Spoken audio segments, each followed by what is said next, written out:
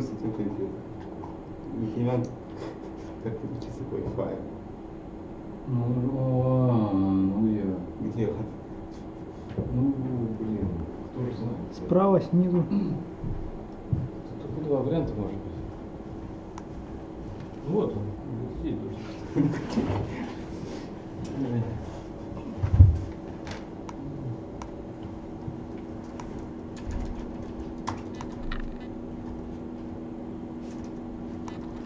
Да елки-палки. Ну, хорошо, так вот. Нет. Так вот.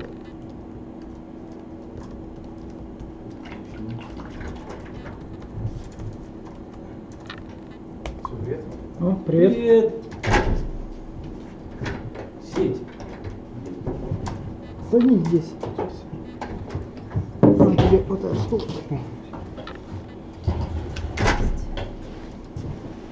Привет!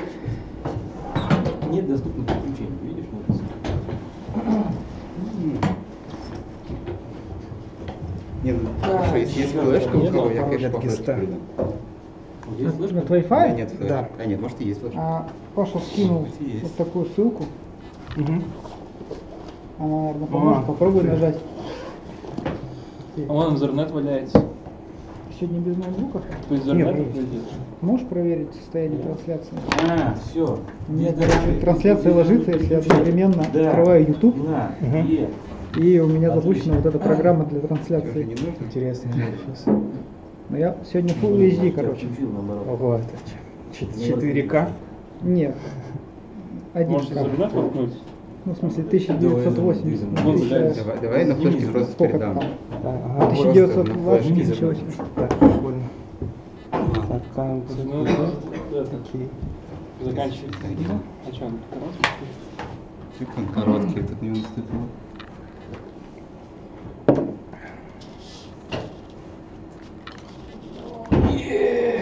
Это еще не я, это еще идентификация. Да не, все. Ух ты. Ты что, это же, это же Яндекс. Сеть всегда работает. Сейчас мы Ну, теперь у тебя берем есть Яндекс. авто. Извините. Еще раз. Извините. Нет, он действительно не лагает. Ну, давай так. Ну, в Яндексе Яндекс не должен работать, это правильно. Пользователь основной. Ну, прошу. Теперь можешь вставлять свою флешку. Хорошо. И сделаю.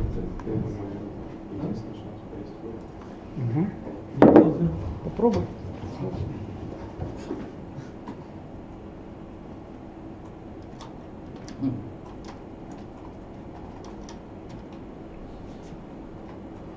Она еще не запустится. Знание. Да все нормально. О.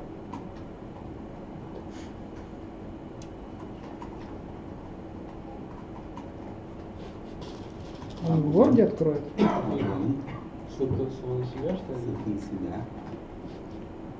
Так, отлично. Ладно. Я в курсе. Такую флешку.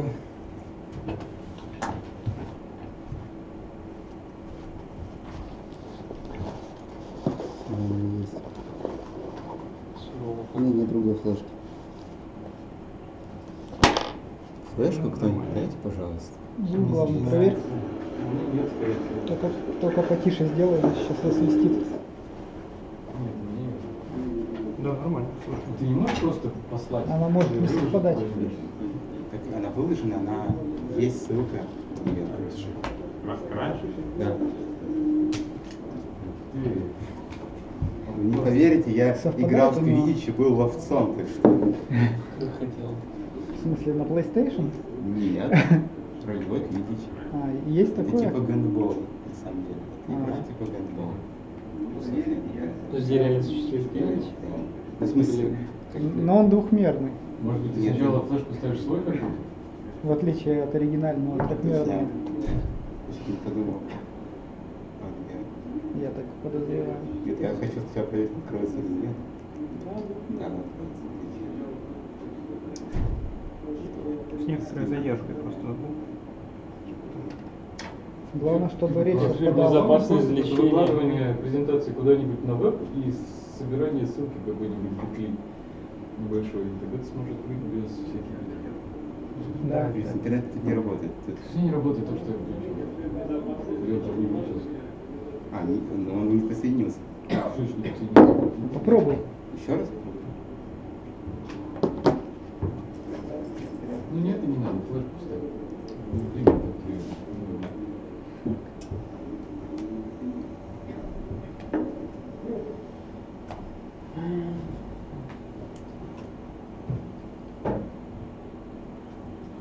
Ну-ка давай я сейчас.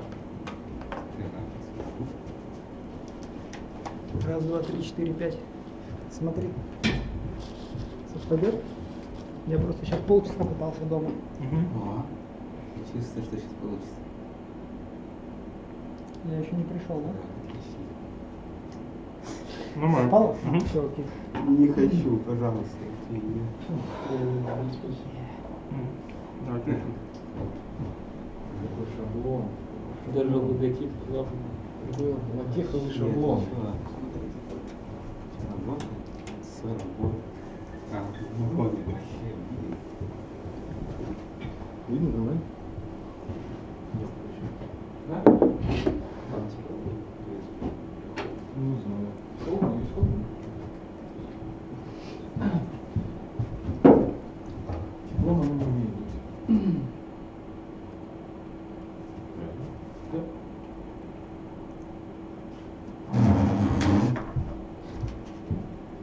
Можно? Да. Давай. Отлично. Принес его кефир? Первый вопрос. Никто не принес, очень жаль. Я поделиться. почти принес. Почти. Но я сейчас не голоден, реально. Но я купил.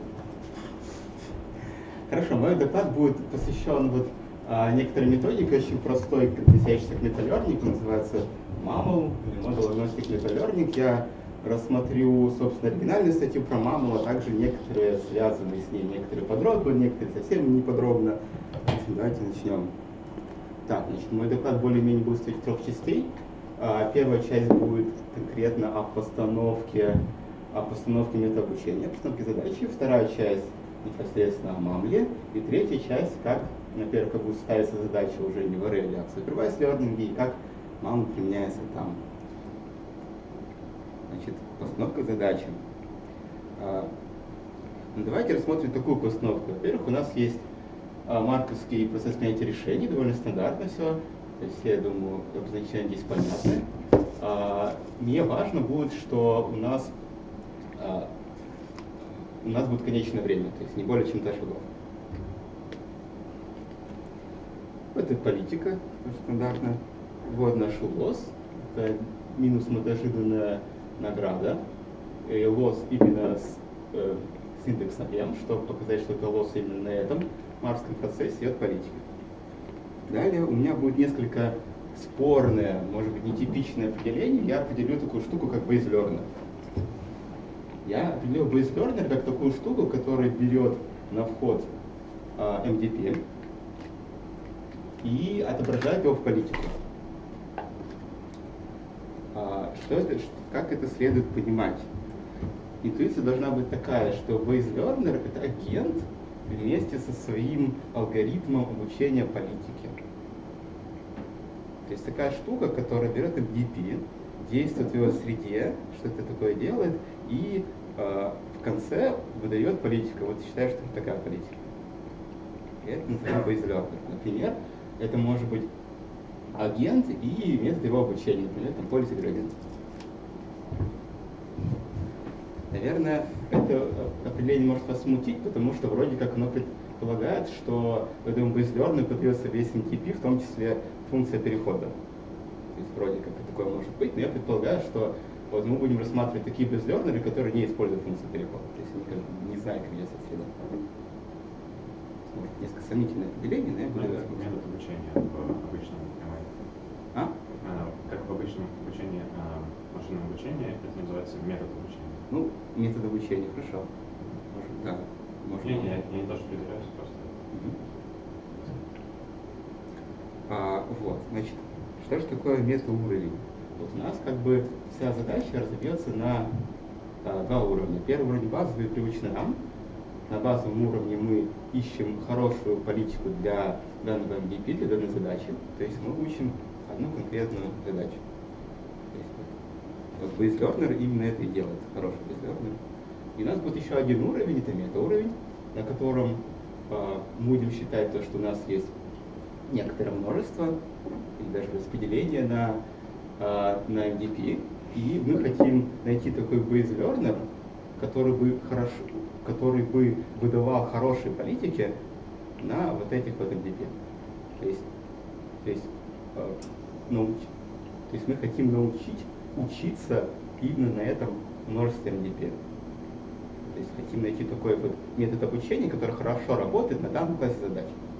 Можно так сказать. Чуть более формально у нас, я определю так. У нас есть некоторое распределение на NDP. У всех этих NDP есть общее, общее пространство состояний и общее пространство действий.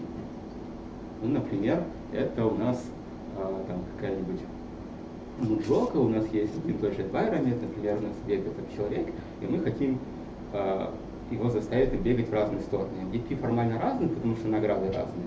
Если мы хотим, чтобы влево вправо, это одна награда, если влево, другая награда. Но пространство состояния, пространство действия одно и то же.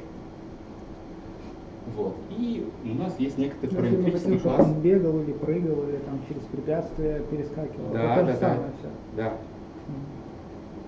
Вот. И у нас есть некоторый параметрический класс этих методов обучения. И мы хотим, наш объектив это минимизировать вот такой металлос. Что такое металлос? Это мотожидание по всем MDP, лоссов на данном MDP от политики, который даст нам learner на этом MDP. Мы хотим найти такой наилучший learner, который будет работать. А, типичный случай, а, когда base learner, то есть вот метод обучения, он ограничен, мы рассматриваем только, в этом классе лежат только такие learner, которые используют только К-траектории. То есть learner, который вот, не более чем К-траектории среди игры, выдает политику. Такой кейс называется casual learning как раз. Так, э, я нашел не так уж много статей, которые рассматривают мета-лернинг именно для RL. Наверное, их больше, наверное, Паша знает гораздо больше, но я вот более-менее нашел книг. Если честно, вот. Э, вот есть RL квадрат, вот э, это примерно той же группы, что и модуль относится мета-лернинг, который сегодня буду рассказывать. Вторую, если честно, я не читал, но тоже часто не рассылается. Ну, по крайней мере, первый и третий из них уж точно укладываются в мой формулист, который дал. Например, в RL квадрат, там, э, так просто скажу, что там выучивается некоторая РННка, которая, которая по сути политика, которая играет в среде, но у нее есть hidden, поэтому политика зависит еще от предыдущего состояния. Таким, таким образом, мы явно выучиваем конечную политику, которая будет хорошей. Вот. А, так, ну я сегодня расскажу именно про модуль гностик на Learning, все уже так замечательно. Ну, главное вы узнаете, что очень простая идея. Идея такая, пусть у нас будет несколько MDP и одна какая-то сеть, которая приоритизует политику. И мы хотим просто найти некоторую хорошую инициализацию для этой сети, это 0 такую, что с, с этой инициализацией было бы очень просто дотюнить ее до любой задачи из, нашей, из нашего распределения MDP. В наших терминах чуть более формально, вот у нас есть э, нейронная сеть, которая рисует политику, и распределение на NDP. А, соответственно, класс методов обучения будет характеризоваться только вот этим начальным, начальной инициализацией весов. И класс бейсбернеров это будет такой, это будет агент, а, э, с политикой питета и некоторый метод обучения, например, policy gradient, который стартует в начальной точке θ 0 и использует только К траектории. Говоря, не обязательно, не обязательно ограничивать фи только начальным движением. А, ну не обязательно, ну что можем еще учить? Можем учить, наверное, этот linear rate можем учить, кстати. Ну, все что угодно, вообще типа ты.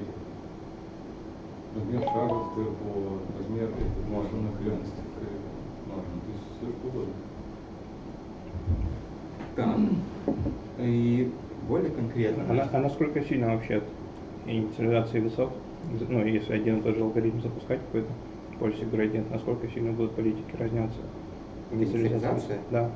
Ну, а, у них получилось, что Случайно. есть настолько хорошая инициализация, что с нее можно там за 5 шагов выучить. Мгм. За 5 траекторий. Вот в этом вся фишка. Я ее покажу потом на видео, как она выглядит, эта инициализация, которая, начиная с которой можно очень быстро доучиться. Ну, вообще, строго говоря, наверное, влияет очень сильно. Потому что от того, как ты инициализируешь, зависит, грубо говоря, какие данные тебе придут и какие апдейты ты сделаешь. Если ты инициализируешь так, что он будет стоять постоянно, то ты ну, ничего, грубо говоря, больше не увидишь. Ну, но это случае policy gradient. Потому что policy gradient, ну, если он какой-то, не знаю, штуку скатился, то он там и будет крутиться. Ну, точно так же ты можешь его инициализировать так, чтобы он оттуда даже не выкатился. А если эти в policy какие-то методы? Если что, А в, в policy нет инициализации, насколько важно? м, так как бы это не очень сильно зависит. А, но если у тебя совершает другое действие, то, наверное, менее важно, но я затрудняюсь сказать, как это можно измерить. Ага. Но здесь же off policy не подразумевается. В Здесь принципе. подразумевается он policy. Мгм. Но можно, кстати, и off policy, то есть алгоритм-то не нарушается, насколько это эффективно, непонятно. А другое дело, что смотрите, а, смотрите, если я рассматриваю supervised learning setting, это же будет соответствовать как бы на сэмпл не зависит тогда от там, классификатора, правильно? Поэтому это можно сказать такой off policy режим. Supervised learning. Мгм. Supervised learning тоже очень успешно применяется. Наверное, на Форсе будет работать. Вот. Теперь более конкретно. Я веду такое обозначение U от θ 0 m. Это, это веса, которые получатся с помощью полюса градиента, если мы стартуем с начальной точки θ 0 и с помощью полюса градиента, используя k траекторий, с наградой на MDPM, э, мы сдел- делаем апдейт один. Ага. Вот. И наш бейзленер, он просто будет э, сопоставлять политику, которая будет, которая будет соответствовать этому конечному весу через один шаг. Так, вот так мы определили бейзлернер, и как мы будем апдейтить значит, наш параметр θ0, мы будем его апдейтить с помощью градиентного спуска а, от лосса, от, от металлоса. Металлос зависит от скорости θ0. Вот так. Давайте это распишем. Если это расписать формулу от градиента этого металлоса, то неизбежно возникнет гессиан. Во-первых, совершенно точно, потому что мы сначала а, градиентным спуском вычисляли новую точку, а потом от этой новой точки снова еще берем градиент, только уже от металлоса. Это у нас неизбежно возникает гессиан. Потому что мы дифференцируем вот этот вот апдейт от этой ноль.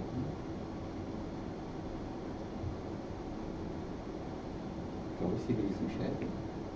Что гессиан возник? Я чуть просто не раскрывал. Да, можно окей. Давай я это отмотаю. Значит, вот у нас U, да? U есть градиент. Потому что это апдейт по... Ну, потому что градиентный спуск. Теперь, вот у нас есть, значит, а, апдейт это 0.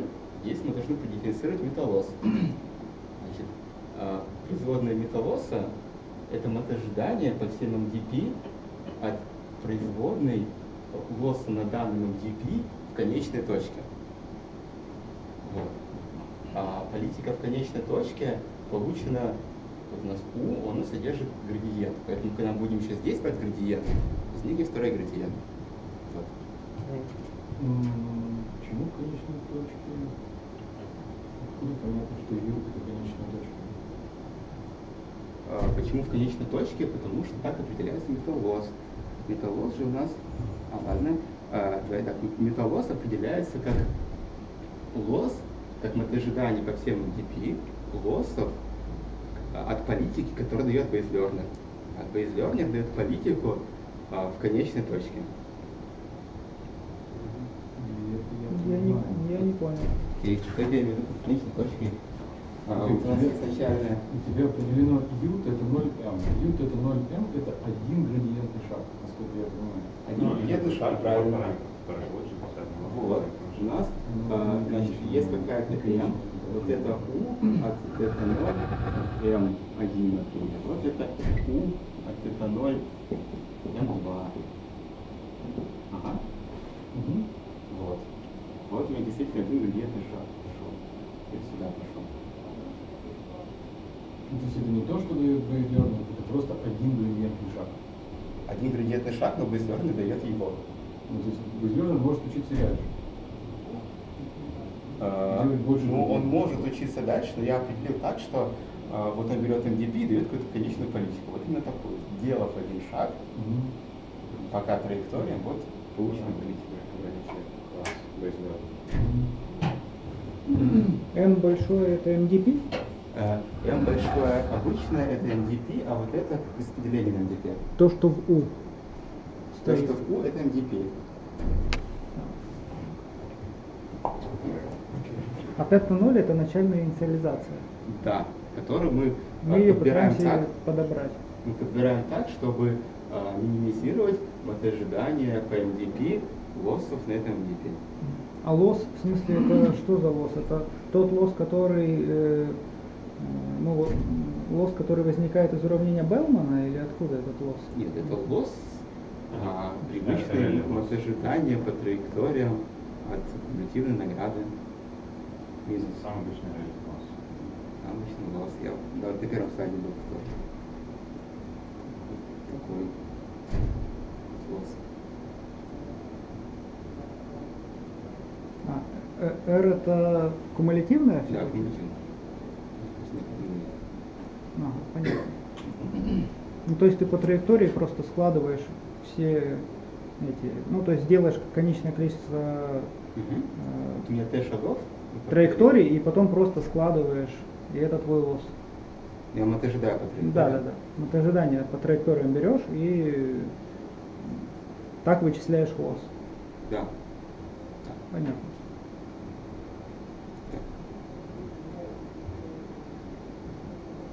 А как можно продифференцировать сумму наград?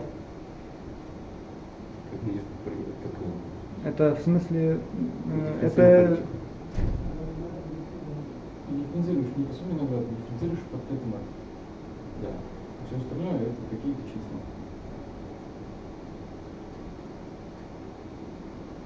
Так, ну, а, апдейт по градиентному спуску не вызывает смущения? Отлично. Так, то, что а, возникает гессиан, понятно почему. Вот, хорошо. Значит, вот действительно возник гессиан, и, в принципе, у нас здесь получается а, а, произведение гессиана на вектор, это можно было бы вычислить, но они предлагают, они проверяют, а, будет ли хуже, если его проигнорировать, и у них оказывается, что сильно хуже не будет. Поэтому я здесь формулу его проигнорирую. Десян напишу вот так. Хотя, в принципе, можно было бы и считать. Что такое т равно π с? А, Это равняется π с и- нижним индексом u. U у нас а, берет начальную точку mm -hmm. и выдает конечное, конечное весов. Mm -hmm. То есть это пи от тета, пи от тета конечное, которое соответствует данному объекту. Пи от тета это распределение на действие, оно же равно ему Это просто тета. Ой, подожди, я фигню написал, да. Просто отву, конечно, нет пи.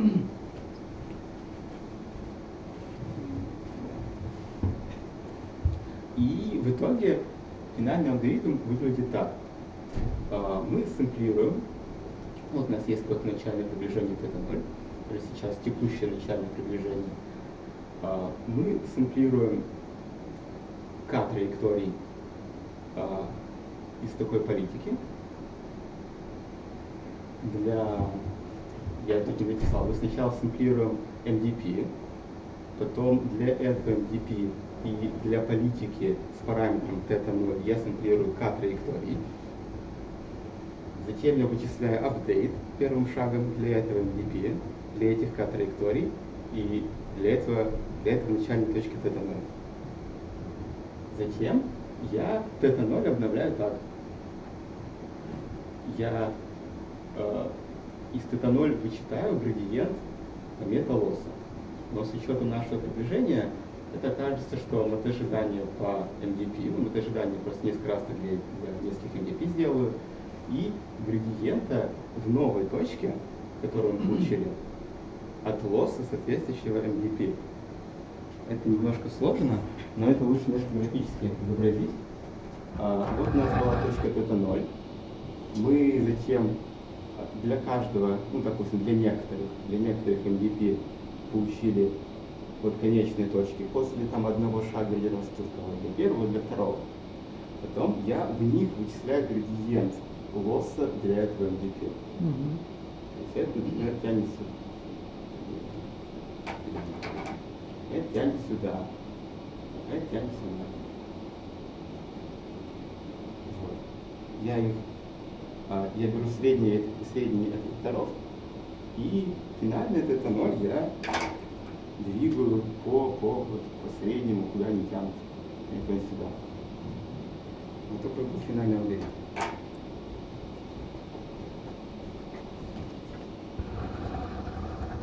Ну, по сути, ты много раз центрируешь MVP и Мгм. по ним сменяешь, куда они тянут а, вот это, это ноль.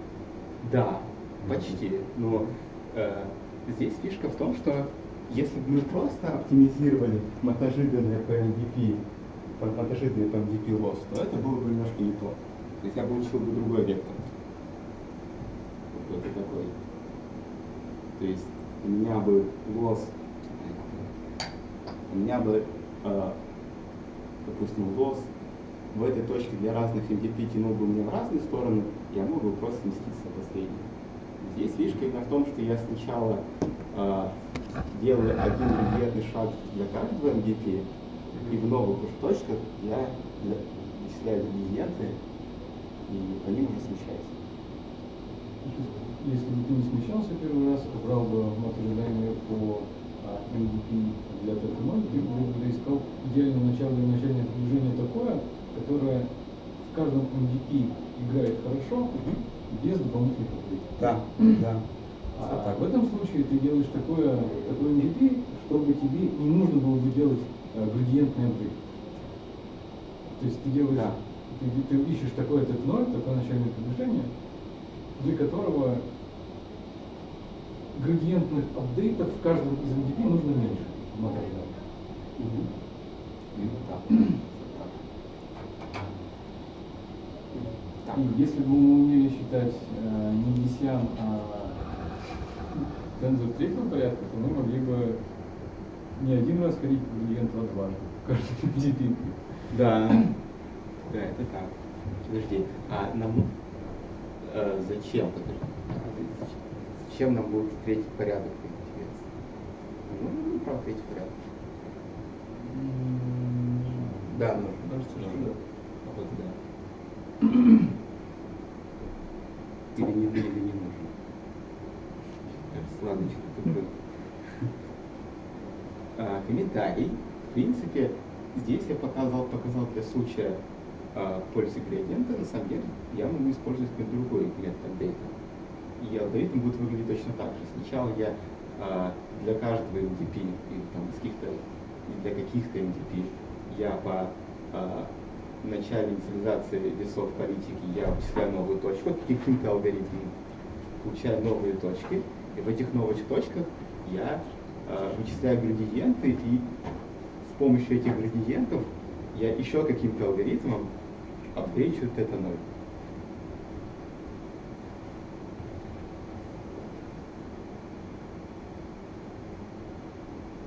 То есть корректность такой процедуры, как я сейчас сказал, может и сомнительна, но а, в принципе так делать можно. Так, у нас есть как бы внутренний апдейт и внешний апдейт насколько я помню, в оригинальной статье, мне кажется, для внутреннего апдейта они использовали Course Gradient, а для внешнего они используют ТПО.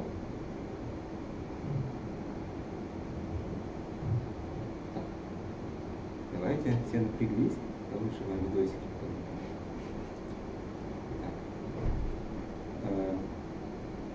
Э. Скопируй. Я нажимаю правой кнопкой и тебя же все равно нет интернета. Очень нужны видосики. Блин. Можно не разрешить. Не, ну я могу разрешить, но интернета нет. Чего это? Когда мы так не. Ну, давайте. Нас мало.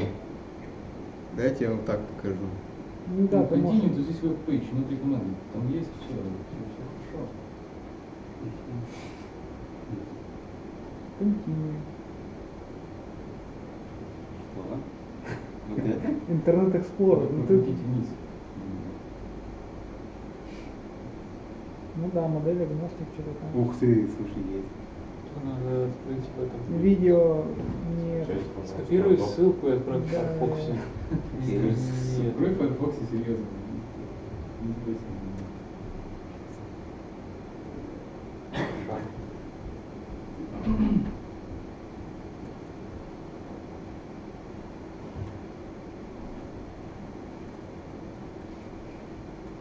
Сверни просто окно.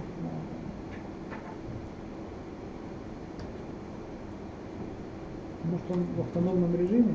Почему он так? А, не. Что вы делаете? Технически Да. И,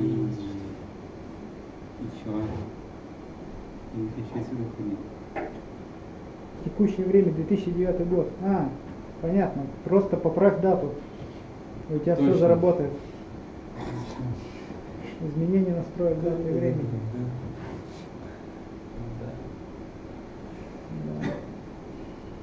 Да. Мне мотать, да? Изменение параметров календаря. Всего Там, по-моему, можно из интернета выгрузить Да, время. мне кажется, надо. Вот, Изменить часовой пояс. Настроена автоматическая синхронизация. Да, но он просто нет. Ну, нужно не изменить параметры. Он просто этого не сделал. Обновить, да. О, слушай, шлем.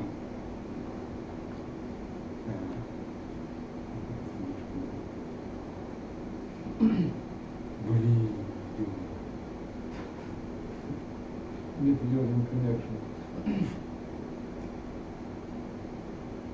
Так, тут сервис видно.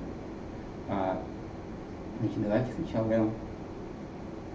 Тут надо график. Значит, у нас а, был гепард, и у нас такой setting. У нас, во-первых, есть MAML, это понятно что. У нас есть pretrain. Что такое pretrain? Pretrain это значит, что мы учим одну универсальную политику, которая мы просто оптимизируем от ожидания лосса по этой политике. Ну, какую-то одну. Ну, смотрите, вот претрейн, давайте Какая задача у Точно не этого? было, не было сомнений, что это тренинг. Тренинг это значит то, что мы а, актуализируем ожидания, ожидания лосса, лосса и и минимизируем от Пока что. Это тренинг. Да, то есть Я мы... все-таки не очень понимаю, в чем разница между мамой и битрейн. Давай я напишу, что команда.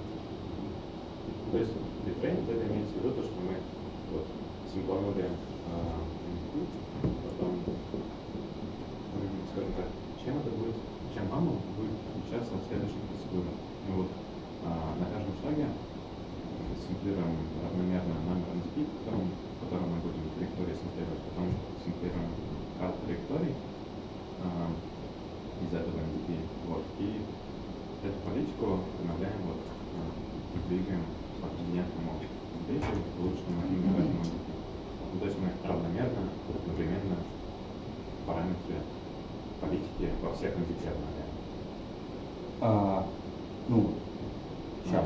Наверное, вот это вот. Нет, смотри, ты хочешь двигать сначала в одном MVP, потом во втором, потом во третьем, в четвертом, в пятом, а тут усредняется по всем. То есть сначала считается э, вот эти градиенты по всем, потом усредняется и двигается один раз. В этом разница. Да, там присоединяется, да. Ну да, усредняет, вот у них второй нарисовал. Вот две формулы, а, вот это притрейн, получим универсальную политику с параметром θ, которая будет работать средне хорошо. И здесь мы учим какую-то какой-то параметр θ, начиная с которого можно будет обновиться до хорошей политики.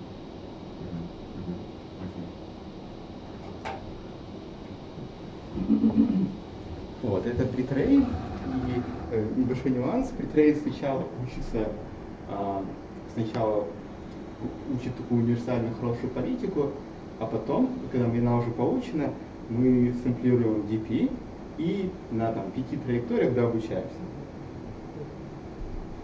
То есть он тоже дообучается. Просто на начальных приближениях прям по-другому. Минимизирую вот такой вот, как я написал низкий. Ну да.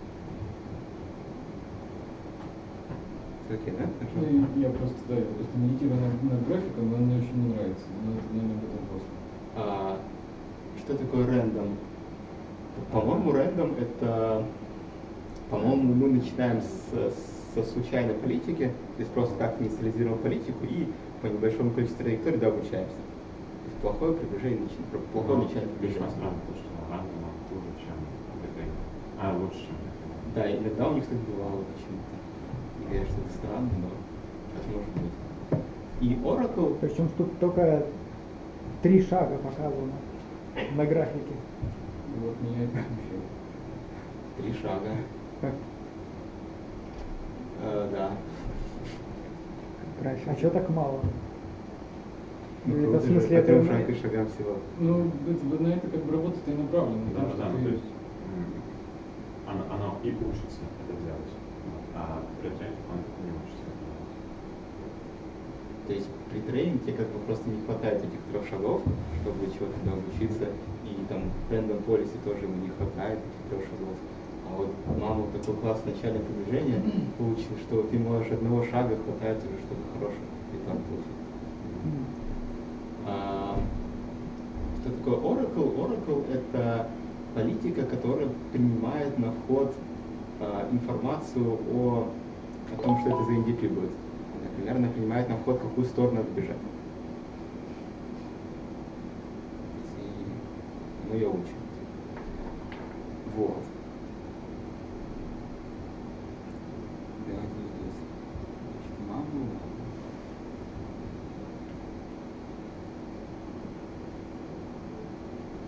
Вот это, значит, вот мы такую политику выучили начальную. То есть гепард стоит и дрыгает ножками, но никуда не идет. А теперь у нас две задачи. Бежать налево и бежать направо. И с такой политикой мы уже совсем просто обучиться бежать назад или бежать вперед. И вот здесь три gradient steps имеется в виду, когда уже взяли а, получившуюся θ0 оптимизированную, положили в каждый MDP отдельно, и каждую, из каждого начального приближения уже по своим градиентам. А случайная инициализация выглядит по-другому. Видимо, мы так с чего-то начали. Рандом, конечно, это Потом вот такое и вообще.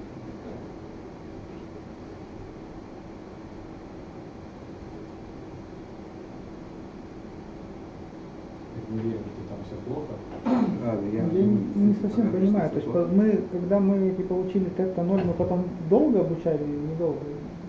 Или как? Или... Не совсем понимаю. Как, как потом? Ну вот мы получили эти тета 0 с помощью Да. там мамл или с помощью притрейна. А дальше мы, мы с ними что делаем? Мы долго обучаем? Нет, недолго. Ну, а, я немножко сейчас засомневался, что они имеют в виду под три градиентных шага, это три траектории или 3К. 3К траектории, да. Вот я не помню, сколько К там, 5 или 10, наверное, должно быть.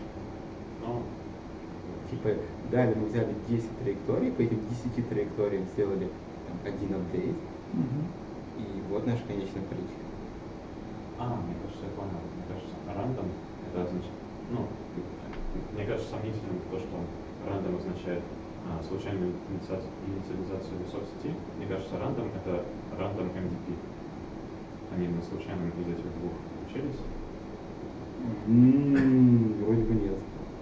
Случайная инициализация весов через...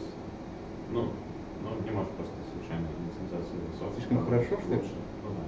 А, ну что-то думал, что хорошо. Я никак не подумал, что это случайно MVP. Ну ладно, посмотри. Так это вот то, что он слева научился влево и вправо бежать, Да.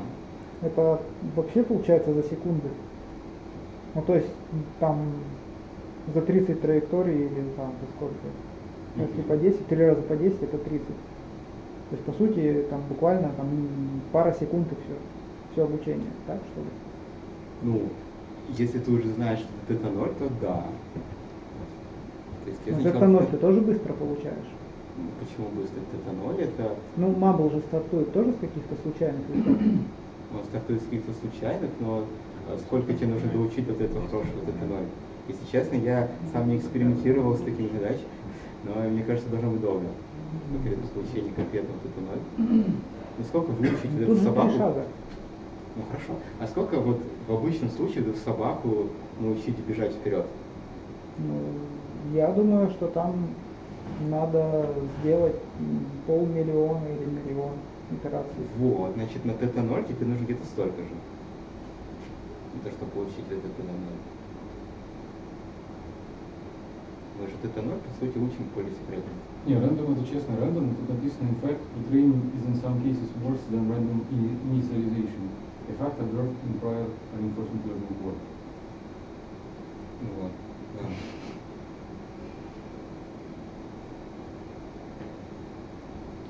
Retraining хуже, чем random initialization. Сколько К? Что это такое? А, господи. То же самое. 20 rollouts per gradient step. А, 20. И горизонт аж равно 200. Вот. То же самое, только мы теперь учим на разных, а, для разных скоростей. В чем, в чем разница? А, теперь мы учим не просто бежать назад вперед, а бежать вперед с разными скоростями. Ага. Вот. Слева 0, хотим стоять на месте, справа 2. Вот.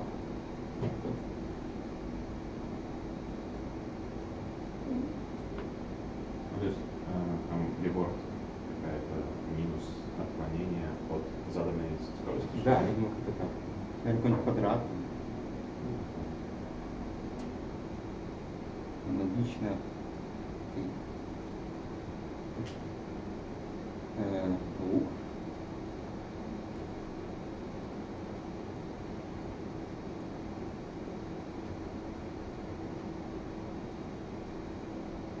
Я бы не уделял много времени просмотру видео. Ну ладно. Лучше ответить на вопрос, почему нужно или не нужно иметь возможность считать третий порядок производных, если мы хотим дальше иметь два шага или три шага или пять шагов. Так будет ли третья производная? Да.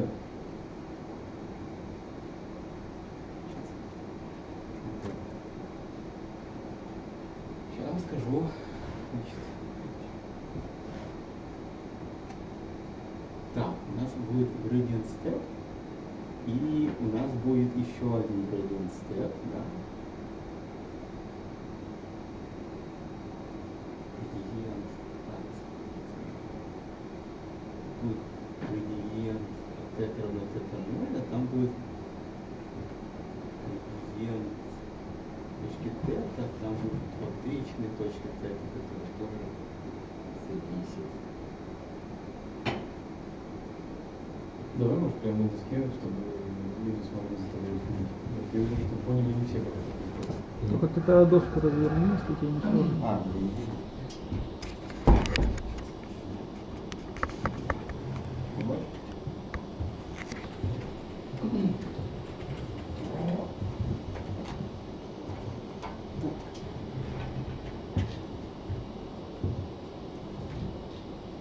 Значит, давай тогда определим, пусть у нас будет, там, не знаю, 5 шагов, у нас будет апдейт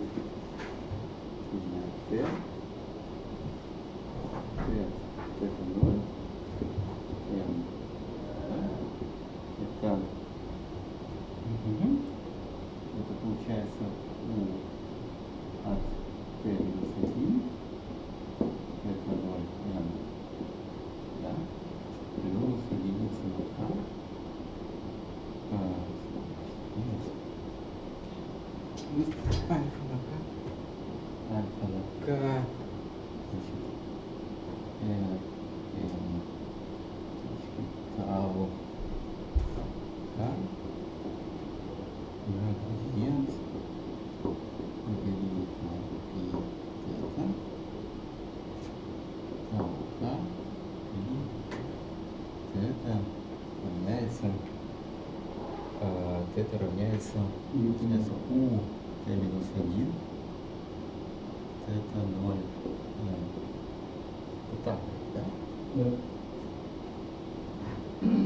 Так.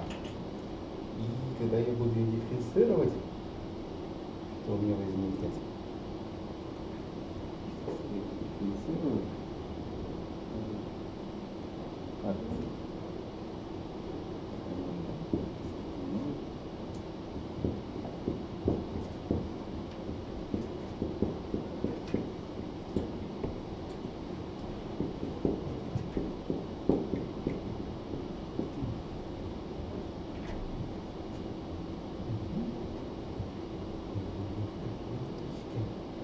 Что будет второй?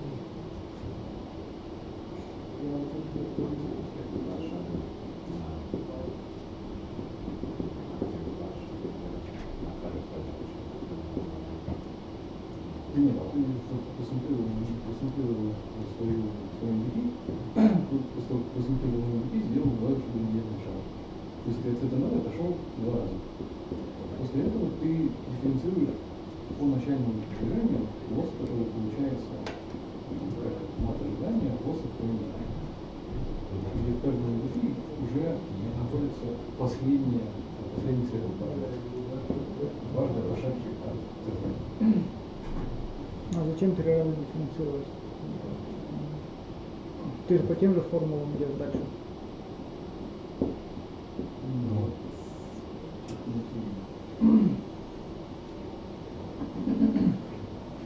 Так. А, значит, смотрим. В этой штуке... Нет, смотри, у нас не будет этих производных, у нас точно так же, как и в тот раз, возник BCN, он же и так у нас возник. У нас так он был. Просто у нас ам, у нас будет такое произведение бесианов в разных точках.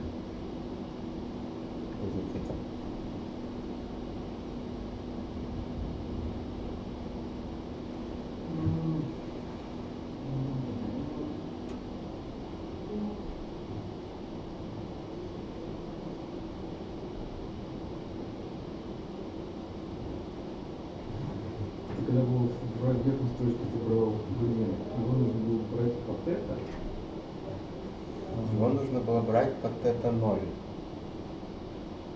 Вот это точка. по тета в точке ют минус 1. И после того, как ты дифференцируешь по ют минус 1, Сейчас. Я не понял. Вот у меня есть апдейт после этого шага. Если бы я понял, я бы тебе рассказал, но я пока сам не. Ну, Смотри, вот, вот этот градиент, это что такое? Это а, процедура обучения после того, как ты от тета 0 сдвинулся в ут минус 1, да? То есть от ты, ну, у тебя было, грубо говоря, а, здесь у тебя был тета 0, ты тета 0 обновил, у тебя стало ю минус 1 от тета 0, а, и вот эту ты обновляешь теперь на ю от тета 0. Вот. Когда ты берешь градиент, а, когда ты записываешь вот это, шаг, ты- то вот, это, я, вот с этим я согласен. Потом, когда ты дифференцируешь это, ты должен дифференцировать это под это 0. Да, есть. А что, что этот апдейт себя включает? Можно это? вопросы для тех, кто совсем не понимает. Апдейт какой? Ну вот это U от тета 0, это что вообще, в принципе, что это такое? Значение параметров. Значение параметра. Значение параметров. Вот мы стартуем с точки θ 0. Вот у нас есть какой-то MDP. Мы сделали один градиентный шаг, попали в Q1 от θ 0 для этого MDP. То есть это Сделать- значение параметров тета. Да. Сделали еще один, получили U2 от θ 0 M. А в моей презентации у меня был только один шаг. Паша спрашивает, что будет, если делать несколько шагов.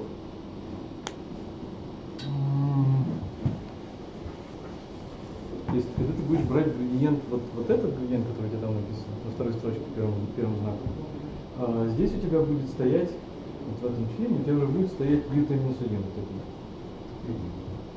Хорошо. Вместо, вместо тета. Ты должен продифференцировать по юта минус один один раз, и потом юта минус один продифференцировать по тета. Тета ноль. Подожди. Смотри, вот эта э, функция тета, правильно, у нее эм, Нет, это не функция тета. Ну, Вот это все, это относительно тета, это число. Ну, точнее, не число, а вектор размерности тета. Хорошо, я дифференцирую вот это ноль. А, я дифференцирую как сложную функцию. Я сначала дифференцирую ее по своему аргументу. У нее аргумент это тета, а потом я эту тета, которая зависит от тета 0, вот она, я дифференцирую по тета 0. Тогда у тебя градиенты будут а, от разных. А сначала градиент от тета 0, потом градиент от тета. Сейчас. Надо написать, Когда ты посчитал вот эту, вот эту штуку, у тебя теты больше нет. Здесь. Здесь нет Это, больше это вот такая. И аргумент. Вот. Это гессиан в этой точке.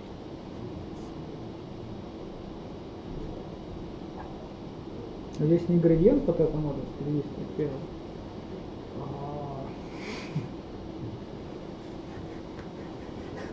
И что? Вот.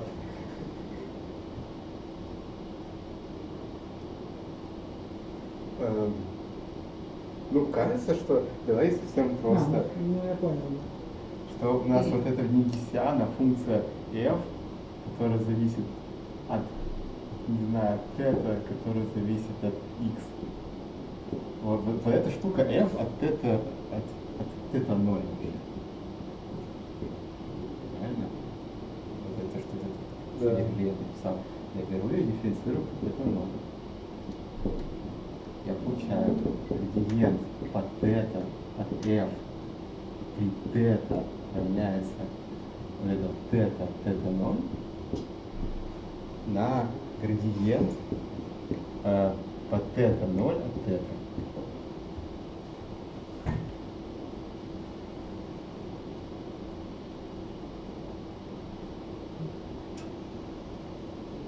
Э, еще лучше напишу. Совсем хорошо напишу. Не так все с размерностями, как надо. Здесь f, который от u от тета 0. Да, я теперь дифференцирую его по тета 0. Вот это f, это у меня градиент. Да, так верно. Теперь я сделаю тета 0, и я получу f это векторная функция, u это векторная функция. Тета 0 это вектор. Да.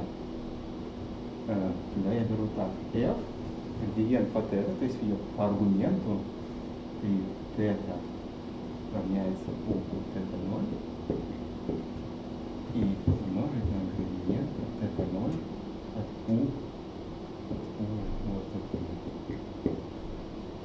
Это было вроде просто не сложно. Как ты видишь, это нет, что ли?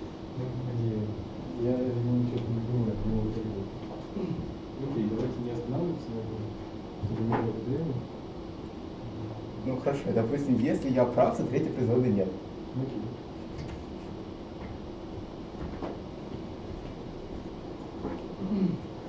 Итак, ну, вроде было все хорошо. Теперь в новом графике вам не кажется, что здесь что-то не так? Маша, посмотри, не кажется, что здесь что-то что, -то, не то? Вот даже при одном шаге. Ничего не смущает это.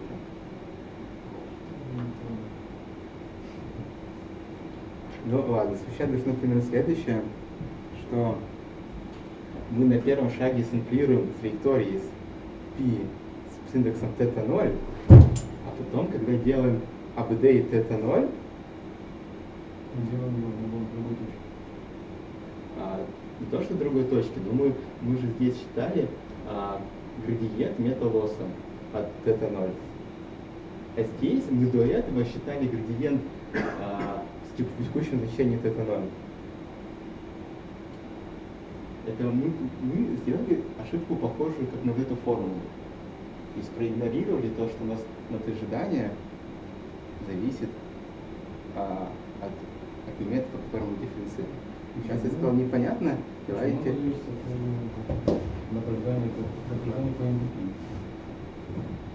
Окей.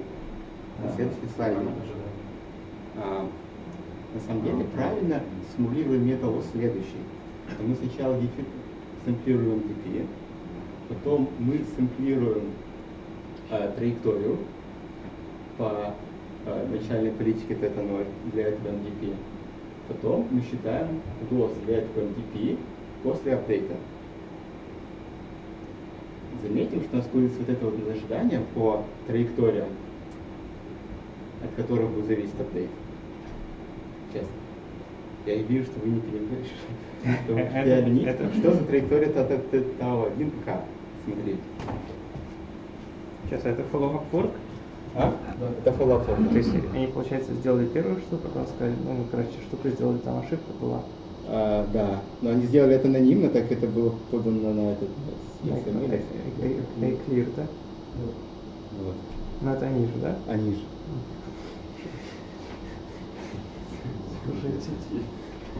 Так. Левин. А, Обманывает народ. это. видишь, что мы делали? Мы, вот у нас был вот это 0 такой, точка, и мы получали апдейт. Вот это 0 для какого-то MVP прям. Шли сюда. От чего зависел этот апдейт? Я, тут должен быть еще один аргумент. Какой? А вот эти вот траектории Тау-К. Мы же апдейтим по каким-то траекториям Тау-К, которые сэмплируются из политики. Это ноль. Мгм. Вот. Тут должен, должны быть еще траектории, по которым мы обновляемся. И а, распределение на эти траектории, по которым мы обновились, оно зависит от это 0. И мы эту зависимость не учли, когда брали градиент. Вот.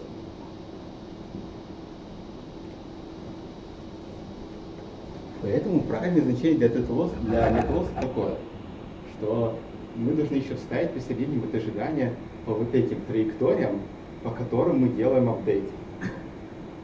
Вот. И теперь, если э, взять от него градиент, то мы получим, что этот градиент состоит из двух слагаемых. Есть первое слагаемое, которое вот точно таком же, как обычно мамле.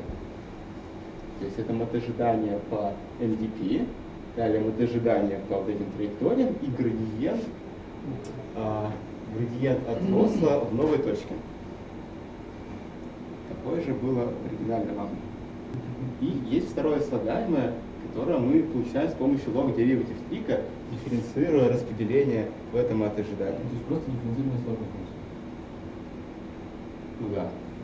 Просто мы забыли до этого второй член. И получаем вот такую штуку. Да, тут получился градиент вот это 0 а, логарифмов политики в точке θ 0 от вот этих вот траекторий, по которым мы делали апдейт. Так. Всем понятно, что это такое траектория, по которым делается апдейт? Да?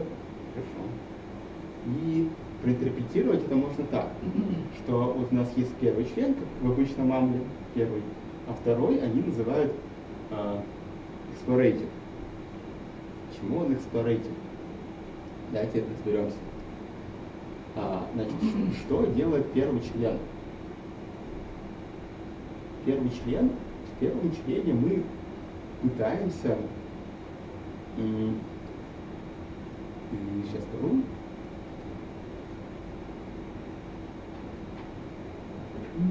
сейчас подождите.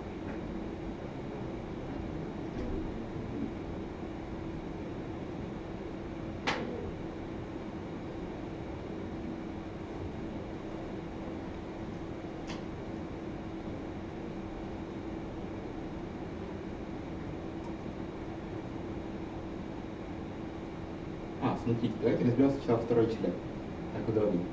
Во втором члене мы пытаемся увеличить а, вероятность сэмплирования таких траекторий, по которым мы будем делать апдейт, которые после того, как апдейт будет сделан, приведут к большей награде.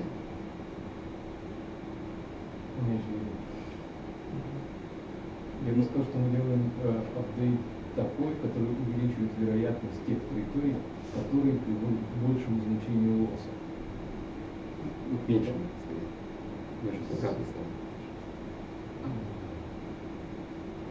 Вот смотри, вот внизу написано полюсе градиент. Полюсе градиент, где в качестве наград выступает лосс с M. Да. Да. Величина этого лосса, чем больше величина этого лосса, тем больше мы считаем, что это награда. Нет, это же градиент лосса я написал, то есть я буду двигаться против градиента лосса. То есть если напишешь знак минус, у тебя будет здесь минус ты написал лосс. Да. Расскажи про эти траектории. я- Смотри. А, сейчас. Как это происходит? Происходит. Окей. Значит, еще раз. Я, у меня изначальная точка θ 0. Я из политики отсюда симплирую К траекторий и по ним делаю апдейт. Что? Что я хочу добиться? Я хочу добиться того, чтобы э, награда в новой точке была побольше, или то же самое, что лосс поменьше. Я могу добиться э, это так. Во-первых, я могу эм, могу подобрать такую точку θ0, чтобы после апдейта э, чтобы после апдейта моя награда у новой точки была побольше, и за это отвечает первый член.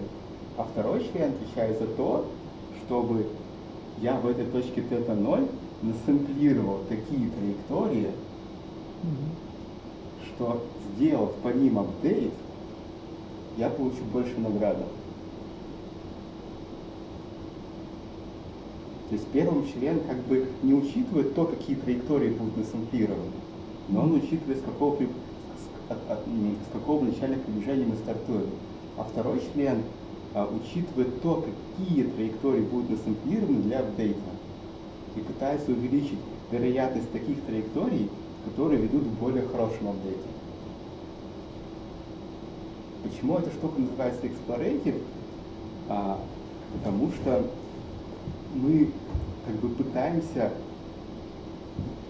а, в некоторой точке увеличить вероятность таких траекторий, которые сейчас не дадут хорошую награду, но после того, как мы сделаем апдейт, но они дадут такой апдейт, что после этого награда будет большая. А как вообще это Ну, это происходит? не награда. Почему ты говоришь про награду? Не награда будет большая, а лосс сильно уменьшится. Лосс уменьшится. Ну, я считаю, что награда плюс лосс. Ну, окей. Так. Чувствую, что слишком сложно. И то есть эти траектории будут очень сильно отличаться друг от друга, чтобы будет больше информации было, что. Ну, то есть, я- ну, не знаю, если мы оценим одинаковых траекторий, то как этот член будет выглядеть. Если Ты будешь скорее поощрять э, разные диверсные траектории. вторых. А за счет чего это происходит? За счет того, что чем более больше у тебя диверсность, типа, вот представь, что ты равно- равномерно ходишь в пространстве территории. Не в пространстве действия, а в пространстве территории. Вот.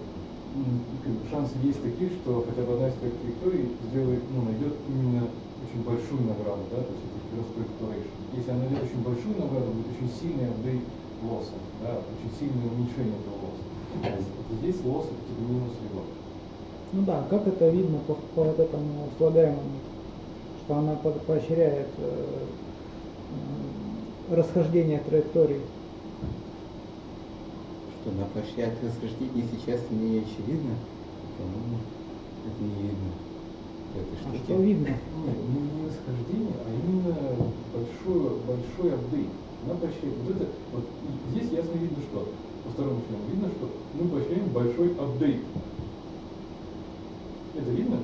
то мы Да. поощряем за то, что мы сильно уменьшаем лосс в MVP M. Потому что он играет роль ревод здесь, во втором члене. Это, это видно? Ну, типа, это Ты пользуется- имеешь в виду то, что он э, стоит за суммой, Ну да. что он входит сам по себе? Он не входит сам по себе, это чисто формула для поиска градиента. Это ничем, ничем не отличается ни на риск, ни еще дополнительных мод ожиданий. Не то, что сильно, сильно повредит. Да, нет, не знаю. Ну, короче, из-за того, что L стоит вот за знаком суммы, это в Ну, смысле... смотри, вот такого такой может- запишем полиси градиент. Его, его можно же нести. Как бы вид такой же, Ну, абсолютно. не, я имею в виду за знаком градиента. За знаком градиента, да.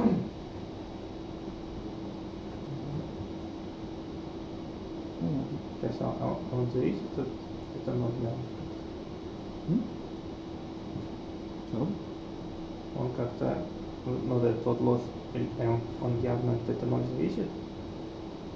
LM явно от это Ну, ну, просто в этом, в policy gradient, там же, если здесь стоит reward, ну, суммарно дискриминированный Да. reward, он только зависит от траектории, но, но не зависит от параметров policy. Его можно вносить, например, в тот gradient. Сейчас я читаю. Видимо, после того, как ты его уже вытащил из-под градиента, он уже перестал его можно назад отпускать. Ну, то есть там, видимо, надо как-то переменные по-другому называть в градиенте, да? Или здесь. Ну, то есть, ты это имеешь в виду? Что после гради- ну, слева от градиента, справа от градиента должны быть разные названия перемен. Не, ну просто чтобы был как бы чистый policy gradient, Паша говорит, что эта штука вроде как не должна от это ноль зависеть. Во-первых, понятно ли все-таки, как получено градиент из э, волоса? Почему, почему градиент этой штуки правда такой? Почему нормально? Может и зависит. Ну, Ты же на это не, не навлечь никаких. Ну ладно. Ну, как бы, понятно, как из первого получен вверх, из верхнего в нижний? Или не очень? И, ну, непонятно. Мне тоже непонятно. Окей, я лучше напишу. Я напишу. Но я думаю, что это м, просто если ты знаешь, как, как это делается, то тогда Нет, непонятно. должно быть вообще очевидно, и если не- непонятно, лучше написать. А, ух. Значит, у нас есть металлос. Это, вот это ноль. Это что? Мы сначала сэмплируем, пишу просто M. Затем я сэмплирую а, К траекторий, от тау 1К, откуда из этого MDP, и с политикой P это 0. Что это за траектории? Это те траектории, по которым я буду делать апдейт для этого MDP. Я делаю апдейты по конечному числу траекторий. А, от чего? От мета-лосса на этом, э, просто на- от лосса на этом MDP с политикой, а, с параметром, который будет получен после апдейта, начиная с, э, начи- начиная с инициализации тета 0 а, на этом MDP по траекториям tau 1К. Понятно? Э, Понятно? Понятно. Ну, это исходная точка.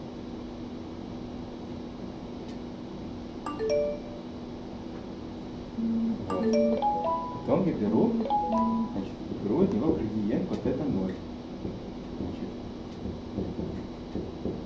А, первым вот ожидании у меня от это ноль не зависит. Там градиент за него по него заношу. Вот эта штука, у меня от ожидания зависит от это 0. Потому что траектории э, сэмплируются из политики с параметром это ноль. Ожидание зависит.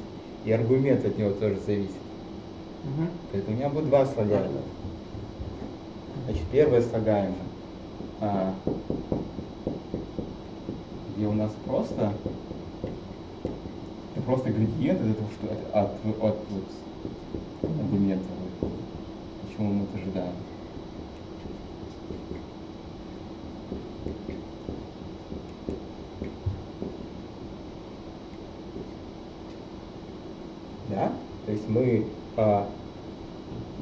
Двигаем θ0 в такую сторону, чтобы а, лосс после апдейта был поменьше.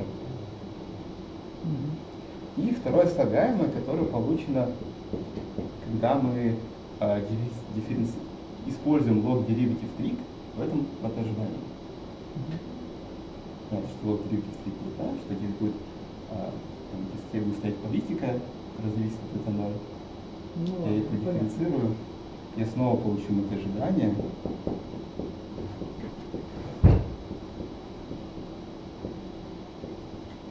У меня лосс останется неизменным, лосс, потому что я уже не дифференцирую, как я дифференцировал до этого.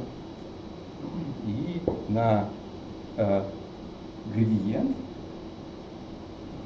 на сумму по вот этим траекториям, много траекторий, градиент логарифма этих вот траекторий толка. Потому что вот это вот ожидание. Нет ли почему сумма? Почему здесь сумма траектория градиентов логарифма?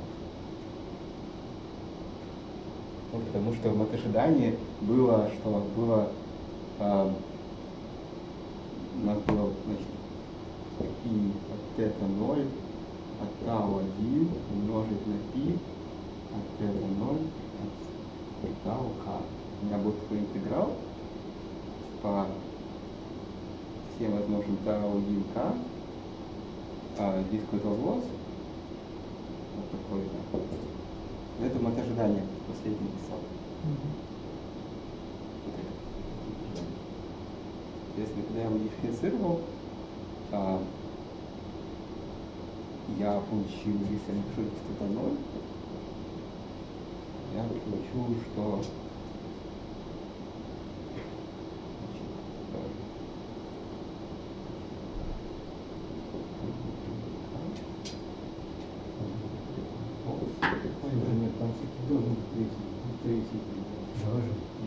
Хорошо.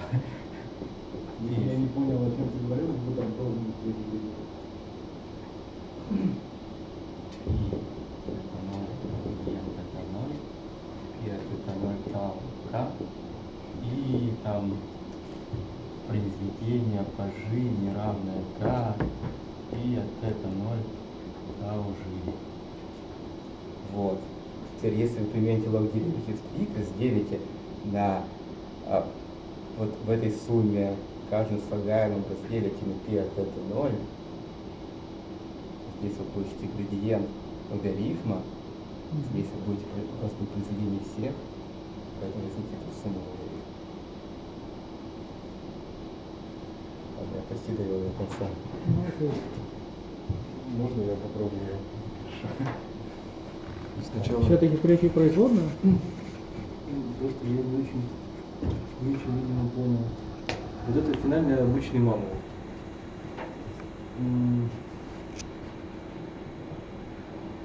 Правильно я понимаю, что наша, наша задача, она выглядит вот так. Я думаю, что я уже ничего не понимаю. Ладно, первое мне нужно. С той стороны доски нет.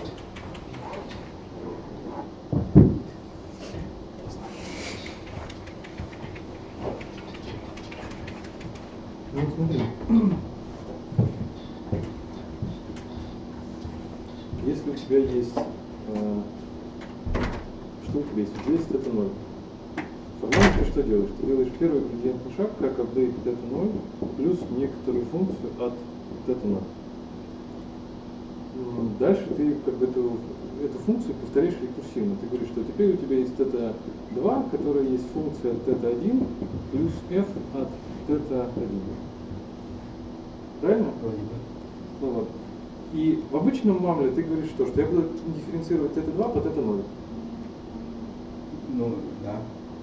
Вот, вот в обычном мамле как бы дифференци... дифференцирование тета 2 по тета 0, это представим сейчас, что тета это типа скаляра, просто скаляра.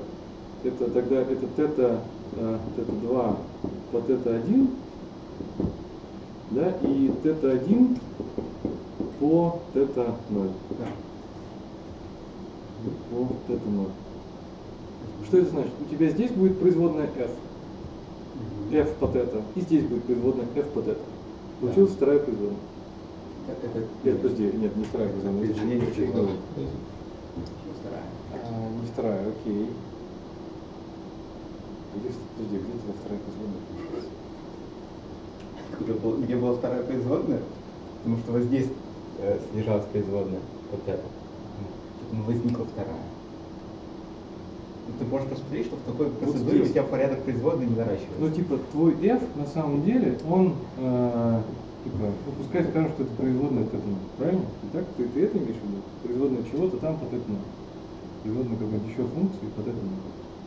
А, я бы сказал, что производная под это в точке θ0. Вот так. Да.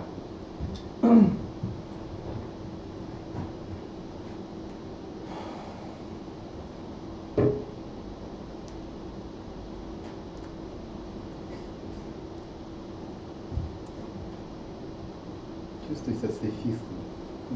Запутал человека. Запутал. Я запутался. Давай, ладно, давай дальше. Ну. Блин, ладно, думаю, что я так быстро расскажу. Так, в общем, такая штука. А, собственно, они проводят в этой статье вот это вот, а, эксперименты, но их не показывают, потому что эксперименты странные. Они придумали свой собственный environment, который ни на что не похож, и показали, что на этом environment у них лучше, чем просто маму. А на вот этих вот, э, на Муджока это ничего не пробовали. Это немножко странно, но понятно почему. Видимо, потому что на Муджоку у них получилось примерно так же, и они специально сконструировали такой environment, на который вот этот второй член вот стачит. Вот как-то так. А, собственно, задачи можно также ставить и для обучения с учителем. Совершенно аналогично. Пусть я скажу, что задача D – это некоторое распределение на парах объект-ответ. А, Лос функция – это значит, просто функция на парах ответа. И метод обучения – это отображение, которое отображает датасет из, э, из K, K элементов и ну, в как- какой- какую-то функцию. Чем алгоритм А? А? Ни- Ничем в итоге алгоритм не будет отличаться. Ничем. В том-то и дело. То есть аналогично у нас есть распределение на задачи, э, есть класс методов обучения, и вот у нас такой объектив. Мы сначала сэмплируем задачу из D, затем мы сэмплируем а, обучающий датасет из Точек, затем мы сэмплируем тестовую точку XY и а, смотрим на loss, который дает нам вот этот метод обучения на данном датасете, на данной точке x и точке y. То есть мы получились на КК пример, смотрим на новый. Вот у нас с методом мы хотим такой, а, подобрать такой бейсбернер. Собственно, в реальном случае у нас, конечно, нет ни этих всех вот ожиданий, в всяком случае нет э, мы не сэмплируем задачу из какого-то какого распределения. Как правило, у нас есть некоторое множество обучающих задач, вот метод train тест. У нас есть некоторое множество тестовых задач, на которые будем проверять метод тест set задачи. В каждом из них метод теста есть свой, свое тренировочное множество и тестовое множество. Train и тест. И мы будем оптимизировать вот такой объектив. И это тренинг объект. То есть мы берем тренировочное множество, тестовое множество а, из некоторой задачи, то есть берем какую-то задачу с ее тренировочным и тестовым множеством из мета обучающего множества и смотрим это ожидание на тестовом множестве, если мы обучаемся на, на тренировочном. Мы проверяем по критерию, где то же самое, только мы задачу сэмплируем из мета тестового множества. чуть более наглядно вот такая картинка. А, здесь у нас а, мета обучающее множество состоит, состоит из датасетов. Да? А, из пар датасетов обучающее множество и тестовое множество, где, допустим, в каком-то первом датасете у нас есть пять классов, которые мы должны друг от друга отличать, и сколько-то картинок. И в тестовом тоже сколько-то картинок из этих классов. В следующем датасете у нас снова 5 классов, но классы уже другие. Поэтому задачи разные. У везде картинки, но классы там разные. Каждая задача – это задача классификации изображений на, допустим, 5 классов. Каждый датасет состоит картинок из пяти классов, но разных.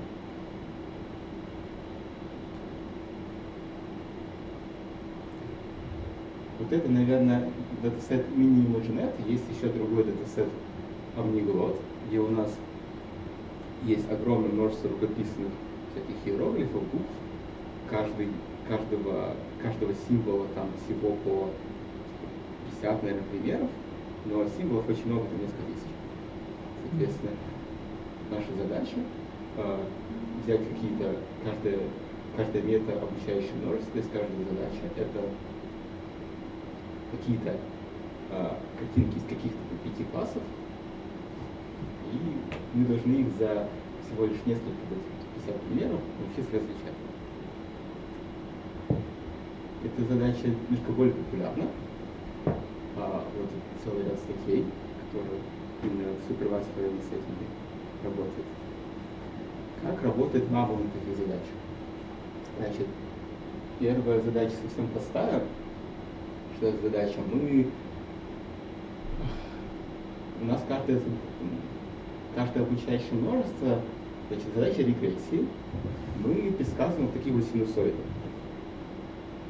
Каждая задача определяется амплитудой синусоида и э, амплитуда синусоиды, и, там, не знаю, мне кажется, там, этим сдвигом, то есть фазой. Нам надо решить задачу, задачу регрессии по этой синусоиде. И дается там несколько точек из этой синусоиды. Например, вот слева 5, ну вообще на картинке 5 точек. И что мы видим, что вот у нас красная это истинная синусоида, значит, точечки синенькие это точки, которые нам даются, а зеленые, зеленые кривые это то, что получает маму э, через сколько-то шагов градиента. А где пятая точка? А только четыре треугольника. Вот, видимо, где-то есть еще пятая, я не знаю, где пятая вторая. И видно, что несмотря на то, что все вот эти обучающие точки были как бы из а, были всего лишь из одной ветви синусоида, то есть мы как бы не представили всю синусоиду этим обучающим множеством. Тем не менее, за счет того, что задач было много, мама выучил такое начальное приближение, э, что он как бы понял, что все задачи описывают синусоиды. Несмотря на то, что вот это плохо. Вот. А, ну, эта таблица, она мне очень будет интересна, они просто продемонстрировали, что нам не глоти, на межнете, вот у них маму всех рыбок. Вот. Вот и все. А, если вы еще не совсем убитые, я пару слов скажу про эти статьи или не надо? Надо, Паша? надо. Совсем пару слов, в порядке скорее трех вам. А, еще две статьи, которые нашел на тему, снова от тех же авторов, Ольга. А, значит, вторая статья, Recasting Gradient Based Meta Learning из Oracle Bias, мне совершенно не понравилась. Они делают примерно следующее. Они говорят, что... совсем много. А? У нас совсем много. Да. Они говорят примерно следующее, что А вот эти статьи приняли на iClear, которые... Да. А, вот та, которая EMAML, которая, которая про исправление ошибки, ее приняли на постер. Ага. Вот это Oracle Base, по-моему... Нет, ее на воркшоп, а вот это на постер. Хотя вот это я считаю, что хуже. Я бы ее вообще не принял. Вот. Значит, а, подход такой, что у нас в байсе, в байсовских методах у нас обычно каждому примеру сопоставляется какая-то латентная переменная. Так, да. Давай считать, что а, каждая, каждая MDP это пример, и латентная переменная для этого примера это а, это а, параметр политики, куда сойдется наш мамул. То есть вот я э, x, это у нас будет вот это MVP, а z, вот эта переменная, это Это вот, оптимальный тета. это вот куда приведет нас апдейт. Один апдейт или вся процедура? Эм, Ну, то в смысле, такие оптимальные тета ноль, которые мы получим а, это потом. оптимальная это 0 или не оптимальная? Э,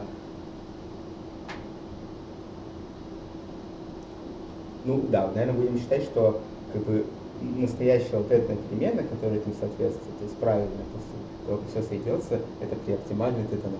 Мгм. Вот. И мне кажется, это все, что делает статья, в большом счету. То есть они пишут некоторую формулу. Да, и тета 0 это параметр. Да. И тета 0 это параметр. Смотрите. Они пытаются, они решают такую задачу, как вот как в EM алгоритме. Мы хотим максимизировать P от x, где x это множество всех NDP, которые нам даны, а, при условии, при условии тета 0. И они хотят им промаксимизировать по тета 0. И они определяют это так, что это значит это ожидание по, а, по z. По, по z, да. P от x при условии z То есть что это такое? Вот это, по сути, а, лосс на этих MDP в точках, а, куда сойдется маму при вот таком значении тета 0. На от z при условии тета 0. Соответственно, это те точки, куда сходится маму с начальным приближением 0. Почему здесь распределение? Ну, понятно, что так как ну, наш же процесс стохастический, да? Куда не там. Да, Бейзер. Наш же процесс стохастический, поэтому вроде как должны быть распределения. Там, можем разные точки Z сходиться с одной и той же. Вот. И кажется, это самое ценное, что у них есть в статье. Потому что дальше они пытаются как-то вот этот интеграл каким-то образом хитрым приблизить, так чтобы его посчитать. Кажется, что это совершенно не нужно делать. Почему? Потому что можно написать так. Потому что можно написать так. А, сейчас я прокомментирую, что такое эпсилон.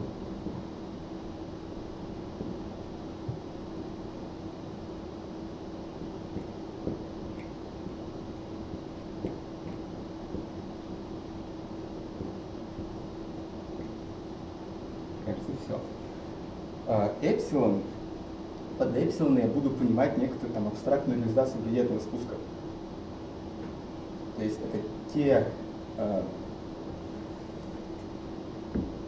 те бачи, ну, допустим, если это supervised learning setting, то мы учимся по каким-то примерам э, из датасета. То есть можно сказать, что вот это те бачи, которые нам вот даст бачерезка. Те примеры. Обращение, насколько это верно знать, не, не расписывая, что из ш- что каждый из распределения означает. Это приближенное Это равенство? вообще правильно. Ну, сейчас немножко не сомневался, будет ли это правильно. Наверное. Ты имеешь в виду приблизить этот интеграл Нет, вот это, таким? то- это точно. Я пишу это как точно равенство. Это мы пишем Это то, что там U от это 0, M и эпсилон, а M это у нас X. И это x, да. Все, все x при условии x какой? Я что x при условии x получается. Я при x при условии x. Сейчас. Тут не Раз, три. МГ.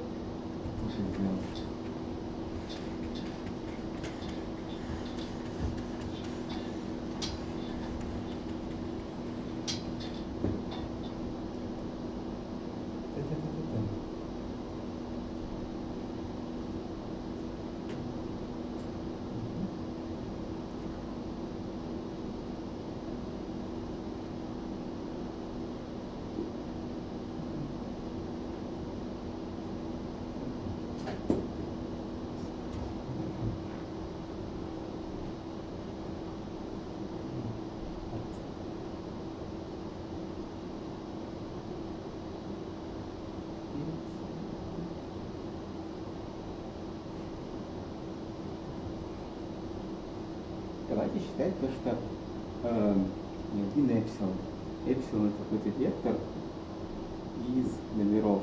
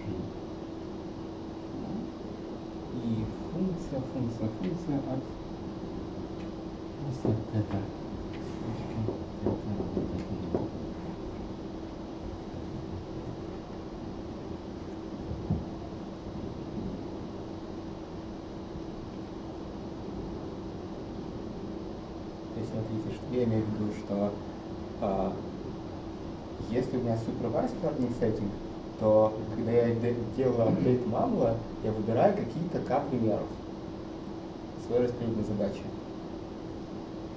Вот. Вот это эпсилон, это просто вот номера этих примеров. И все. Кажется, что, э, что я должен просто моты ждать, поэтому эпсилон. То есть параллелизация градиентного спуска. Но если у тебя этот самый, если у тебя то у тебя и стохастическая динамика, то это равенство неверно. Вот, кстати, может, может, может, и правы, да. Если, может быть, в реале ты и нет. Может, в реале и не прав.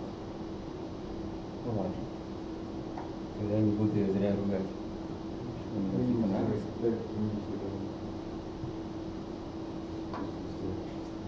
Окей. Не буду. Это случайно. А этот интеграл, он берется же не по конечному количеству элементов. Или по Этот? конечному, да. Ну, в этом ожидание. Я и могу, могу его приблизить в Монте-Карло. И градиент от него тоже могу приблизить в Монте-Карло. Ну да, вот это я имел в виду. Не понял случайно, почему, что означает эта приставка model agnostic? Что значит, что модуль агностик?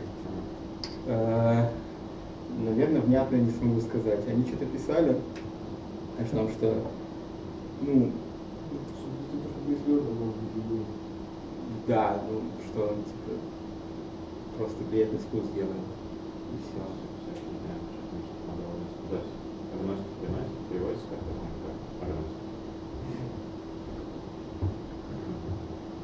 Может это связано с тем, что мы там по сэмплам учимся, что нам модель не надо знать именно это куда бы было бы приедет. Google скорее всего, имеет в виду, что им нужно зависеть от... Подходит к любым моделям? То есть можно и Терпова, и обычно больше клеить, да, ну, кулерный, и так далее.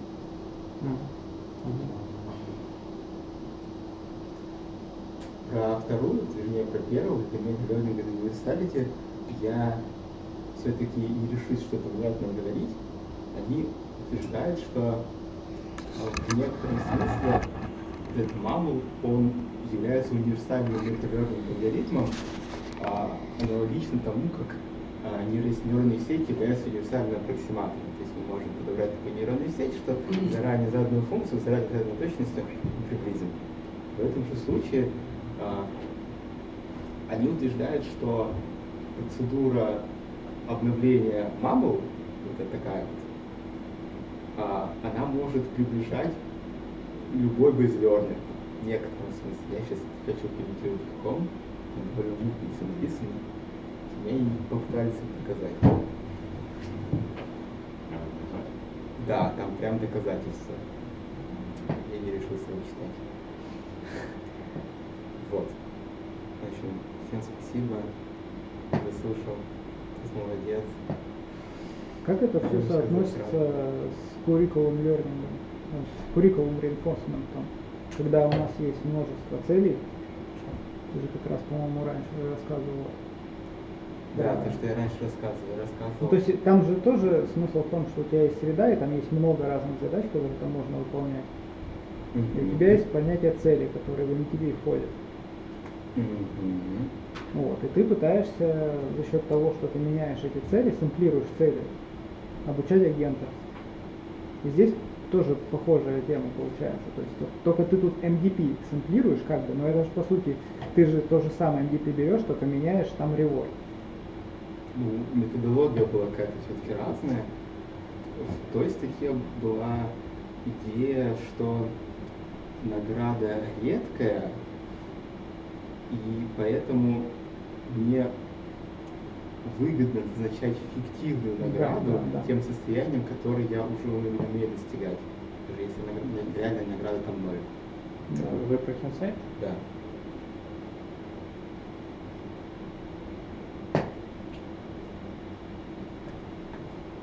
Ну, то есть я к тому, что вот этот куррикулум, он слабее, как бы, чем вот это. То есть вот эта Ну, штука, она полностью куррикулум может заменить и вот- будет лучше работать.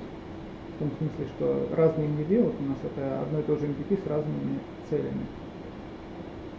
Мне кажется, немножко это разные вещи, в том смысле, то, что а, здесь мы будем, получается, учить параметры, которые будут хорошим лимитом для того, чтобы обучаться выполнять все цели. А там мы как бы постепенно наращиваем сложность. Ну, здесь, здесь как э, э, выглядит этот процесс? То есть мы, получается, что делаем? Мы получили начальное какое-то приближение, потом долго-долго его обучаем, и в итоге улучшаем инициализацию. Еще раз инициализируем, и потом опять погнали. И вот так. Правильно? Недолго-долго, один минут. Или мы берем э, не долго-долго, а там сделали пару шагов, посчитали награду и уже обновляем тета 0. То есть мы как бы учим тета 0. Мы учим в общем-то, да. А в куррикулум мы учили тета. И мы двигали тета.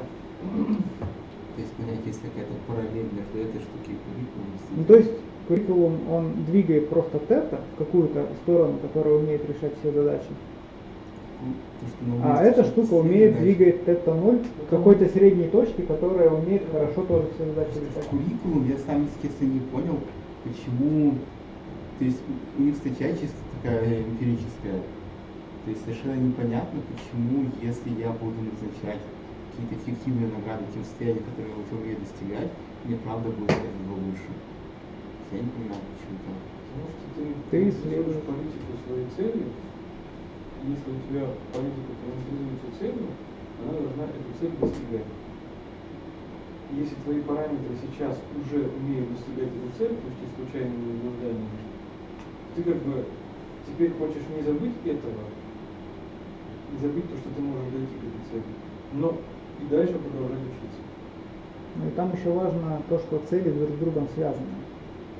То есть ты, если ты научился решать одну цель, то ты примерно научился решать и другую, которая близко к ней. Ну да. И, и если они совсем не связаны, это работать, наверное, и не будет. А за счет того, что эти цели, они как бы ну, непрерывно переходят одна в другую, ты можешь таким образом как бы научиться переходить э, к целям, которые очень сложные для тебя с помощью таких промежуточных шагов. Ну, я это так вижу.